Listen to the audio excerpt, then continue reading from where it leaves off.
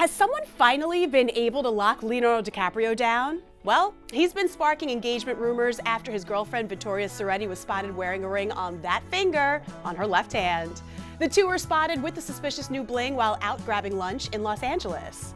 Now, it's unclear if the ring is, in fact, an engagement ring, but the model hasn't been seen wearing the jewelry in any recent Instagram posts. Leo and Vittoria first sparked dating rumors last summer when they were caught embracing on the dance floor of a club in Ibiza, Spain. Since then, the pair have stepped out a few more times together and have even spent time with each other's families. Leo DiCaprio, possibly on the road to becoming a committed man? Who would have thought?